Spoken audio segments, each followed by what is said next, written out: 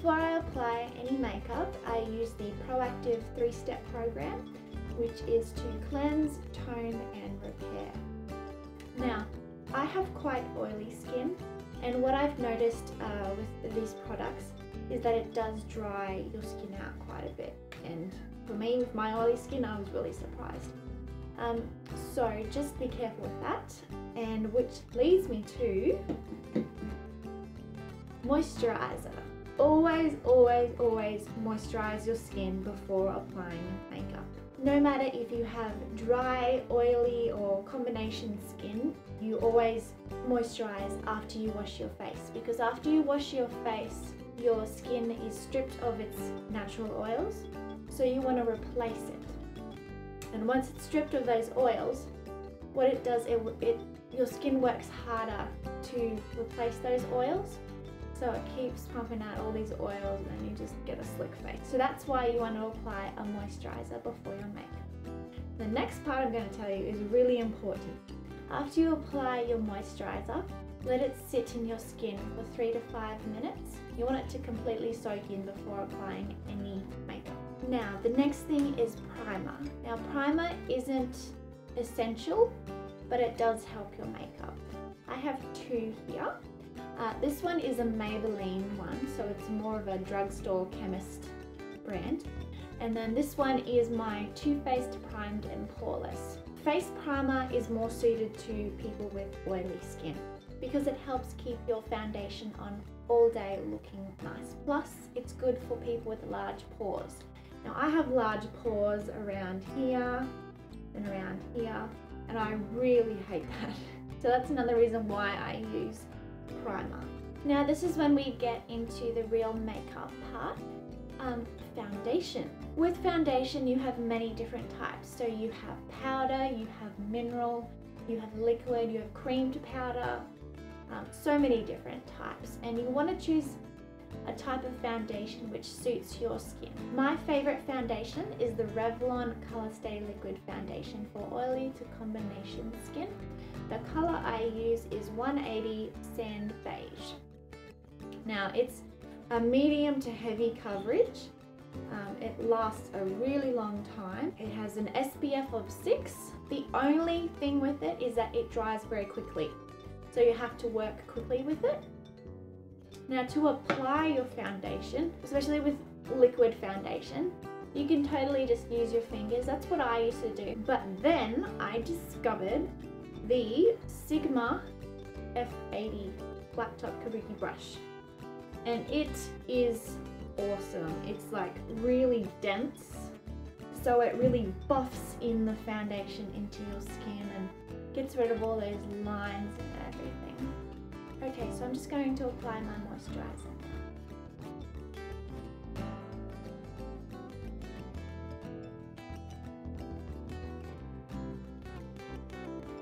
Going to apply my Maybelline Instant Age Rewind Prime.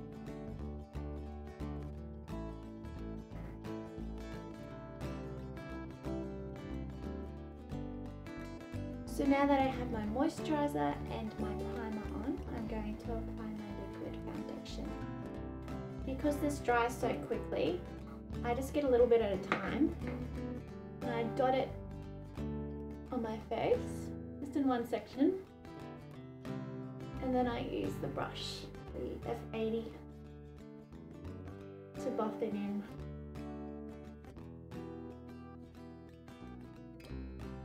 And you want to make sure you get it right into your hairline,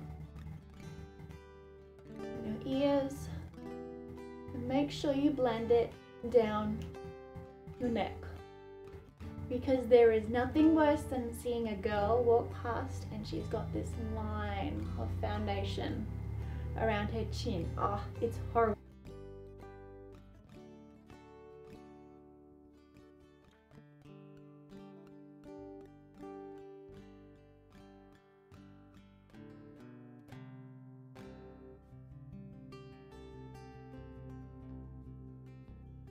Now keep in mind that foundation is not to cover every single imperfection on your face.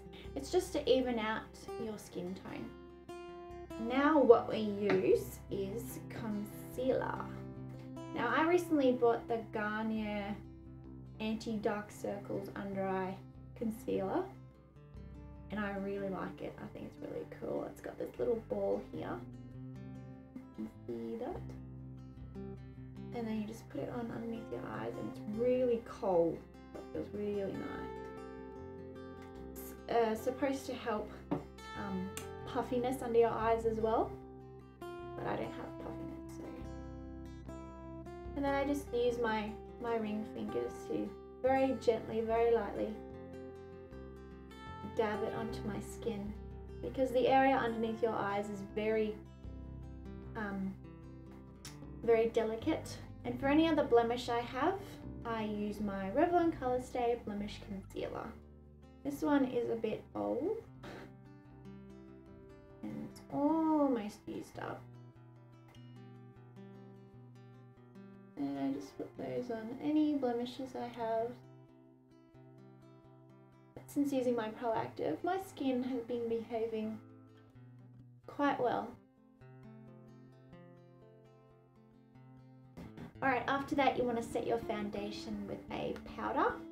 Uh, I'm using my MAC Blot Pressed Powder, which is, it is coloured, but it goes onto the skin translucent, so it's okay. And I, I just use, I know a lot of other people use a a brush to apply their powder.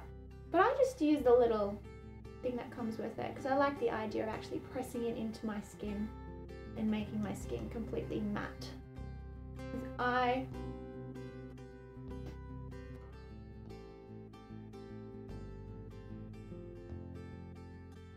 Alright, now we've done our complete face. Now we're going to get into the rest of the makeup. Okay, first what you want to do is take a NYX Jumbo Eye Pencil in Cottage Cheese, which is a shimmery white. And we want to place that on our inner eye corner.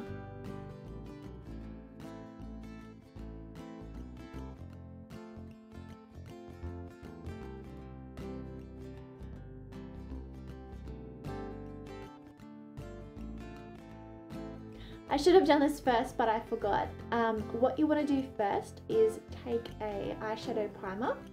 I'm using my Urban Decay um, primer potion, but lots of different companies make um, primers now. Um, Too Faced makes a primer and e.l.f. makes a primer.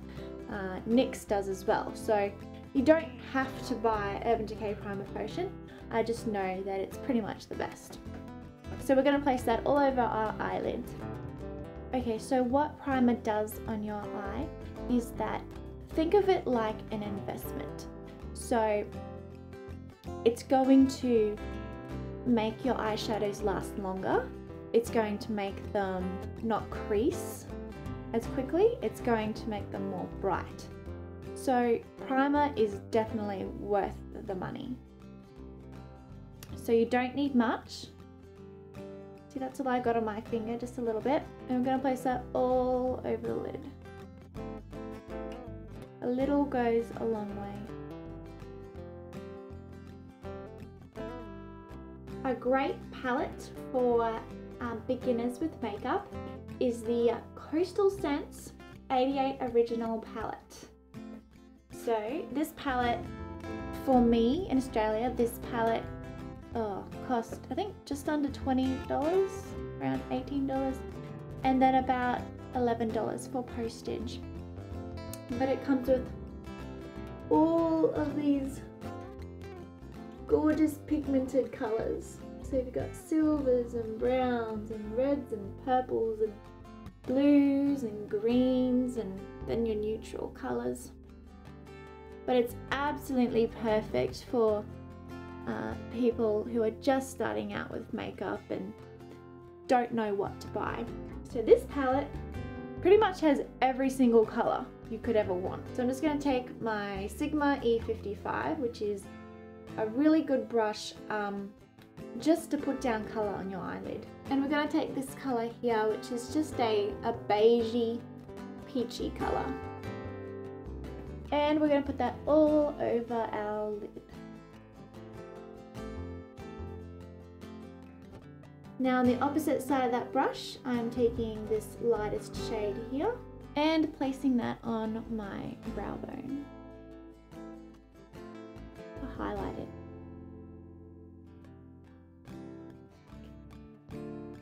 Next I'm taking my E25 and using this shade here which is a, a shimmery um, tan uh, brown and we're going to place that on the outer half of the eye and then up into your crease.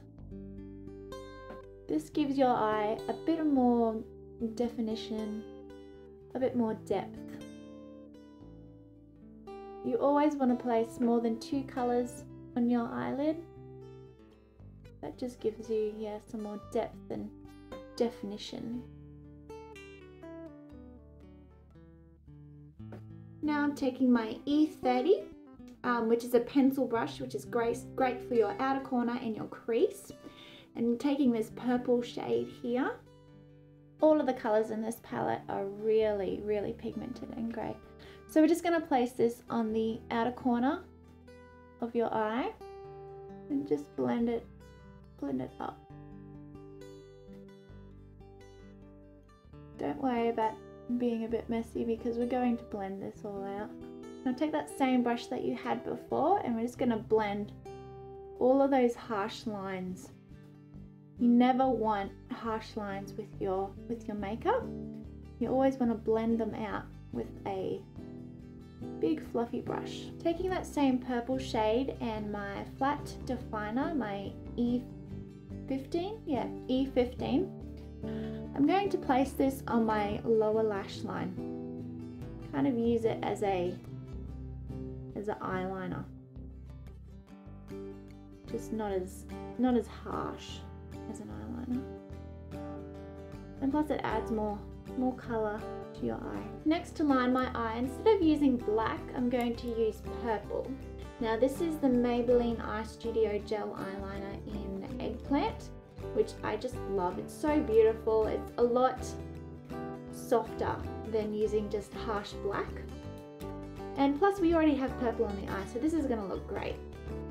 And I'm using my E65. So just starting with small, small strokes, getting as close to the lash line as possible. Next I'm going to use my Revlon Custom Eyes Mascara.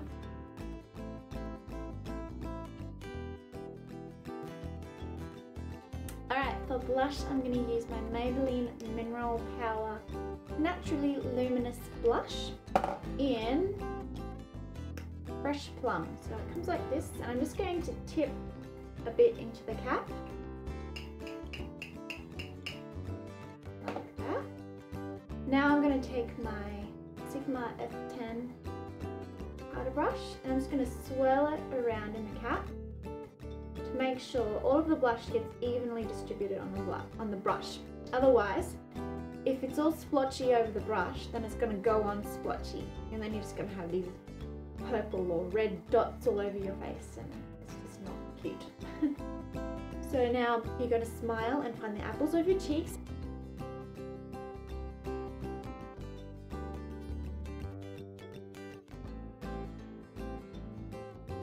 So the highlighter I am using is the NYX, NYX Mosaic Powder. Looks like that. And I'm going to use my Sigma F35. And then just put it right here. Where the light is going to hit it. And then you might want to drag some up here to your temples. And see how the, the light is catching it right there? Yep, that's exactly what you want. Now, I kind of have a love-hate relationship with lipstick. I find they really dry out my lips. So what I like to do, a trick I learned from my mum, is to apply a moisturizing lip balm underneath. So I like to use my Avon Color Trend um, lip balm in Delicious Berry.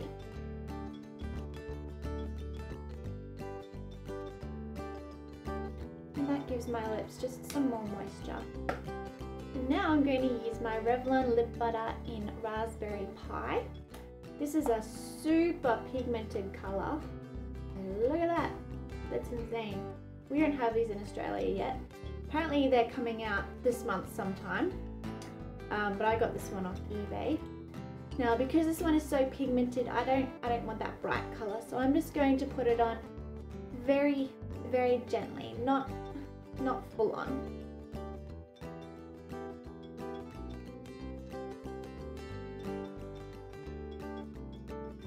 Just dabbing it on, really.